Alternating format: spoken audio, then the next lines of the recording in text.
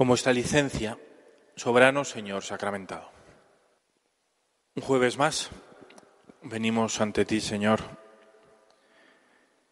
y comenzamos, como te hemos cantado ahora, yo te necesito.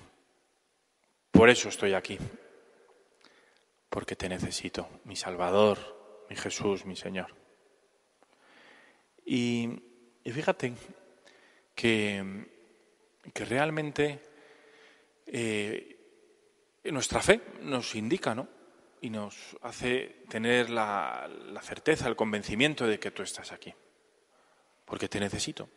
¿eh? Porque quizá esta semana pues lo he pasado mal, o necesito desahogarme contigo, o simplemente sentir tu presencia y tu mirada cariñosa sobre mí. Pero sé que siempre que estoy a tu lado, siempre me voy confortado. Siempre. De una manera o de otra, solo estar contigo me merece la pena. Por eso te lo pedimos, ¿no?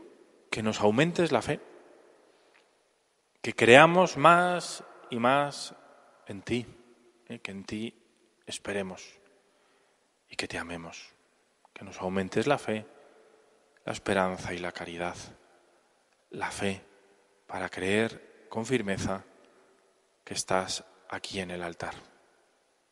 La esperanza, ¿no? Porque sé que confío en ti y espero todo de ti, todo lo bueno de ti y que te ame.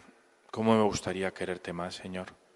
Porque también es verdad que no siempre te quiero como debería, que no siempre correspondo a tu amor con el amor más grande que pueda dar yo, ¿eh? que no es mucho, pero cuántas veces, pues no es ni siquiera ese mucho, cuántas veces, Señor, te tengo que pedir perdón y como el Hijo pródigo, ponerme ante tu presencia y decir, Señor, que te ame más, que te ame más, que te ame más.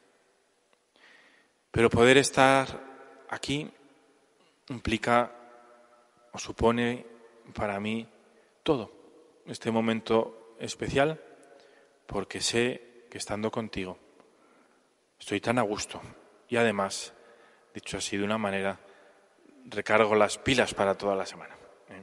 Por eso ayúdanos, Señor, a hacer nuestro rato de adoración semanal ante tu presencia eucarística, pues con, pues con sencillez, con sencillez de niño mostrándonos ante ti como somos y con lo que tenemos o con lo que te traemos.